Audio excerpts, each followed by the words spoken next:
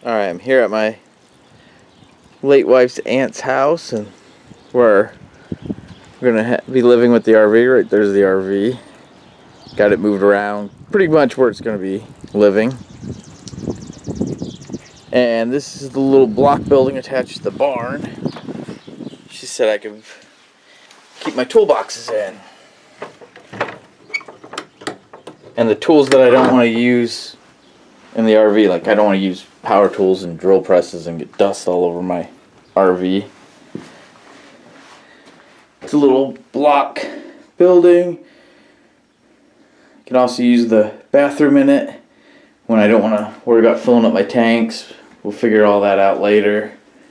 So I'm going to move and clean up some of the stuff in here and start moving the toolboxes and tool cabinets and stuff in here. Well, I got everything cleaned up. Got this red toolbox. This guy for storing nuts and bolts and screws in. This toolbox, which I'll discuss in a second. And then this tool cabinet. Uh, next thing I gotta do start moving in tools.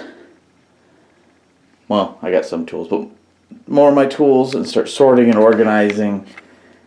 That way all my tools are all in one place and then get rid of all my extra tools that I've bought because I can't lost, find tools because they're disorganized.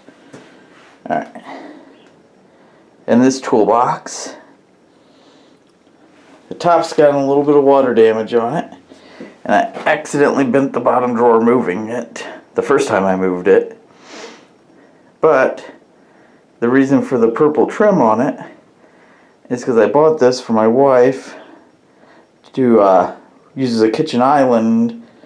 She could grab it, pull it out into the middle of the floor when she was doing baking. She wanted, she really liked baking and she wanted to do it as a uh, business. So she could keep her stand mixer and some other stuff on top. I got her, purple was her favorite color. So I got her all these baking tools in purple. That way all of her tools were in one place. She even had the separate measuring cups and everything for baking. That way she didn't have to go through all the drawers and look for anything. Because, like I said, she wanted to run it as a business. So if you're running something as a business, you got to be efficient at it. And then the bottom, there's a couple extra stuff in there. Uh, some cookbooks, and that's why the drawer got bent, because the cookbook's bouncing up. And then this little organizer, she's going to keep all of her, uh, like, small cake decorating tips and that kind of stuff in.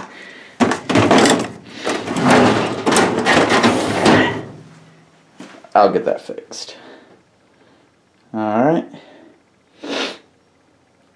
Alright. Thank you for watching, and I hope you have a great day.